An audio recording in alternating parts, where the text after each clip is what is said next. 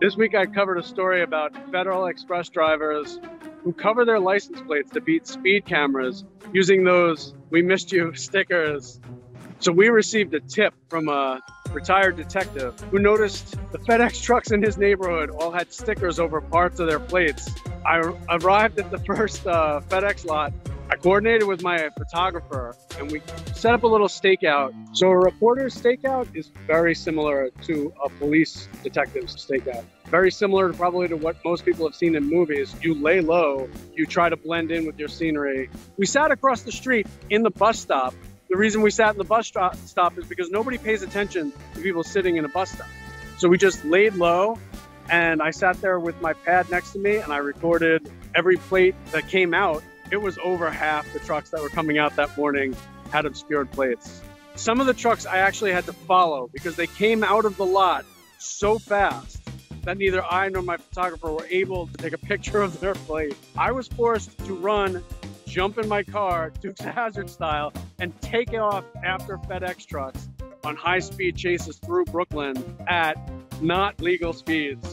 They were routinely driving 48 miles an hour in 25 mile an hour zones, going through red lights. I followed one truck that went through three red lights. And then the next step is you have to front up the subject. So we had to front up the drivers. We had to go to them and ask them, why are you covering your plates with these stickers? And he pretended not to speak English. You don't know about the sticker right here. You don't see that. What is that? That's covering your license plate so that the cameras can't um, can't make it. Oh, so but you didn't know that was there, huh? He actually called other drivers to come and help him kind of get me out of the area. They approached me. Um, they basically tried to bluff me, scare me away, make it look like they were gonna, you know, fight me or something, but they didn't. It's kind of like uh, dealing with bullies as a child.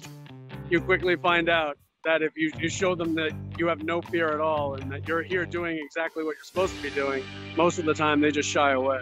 So in this particular story, what I learned was that these guys came up with a pretty good uh, hack. This was the first time I had ever heard of anyone using work supplies to obscure their plate to get around red light tickets and speeding tickets and do it in such a clever way and such kind of a funny way if you think about it.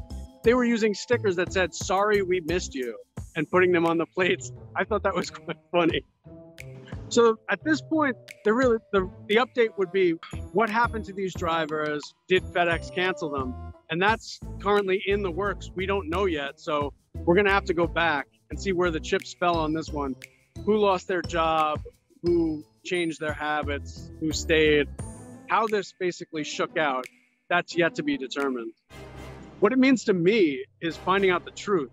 I really liked James Bond movies as a kid. And to me, if you think about it, what James Bond always was was a detective. He was he was in a very very dangerous environment, but he was always trying to uncover what was really going on, get to the heart of it, find out who the bad guy is.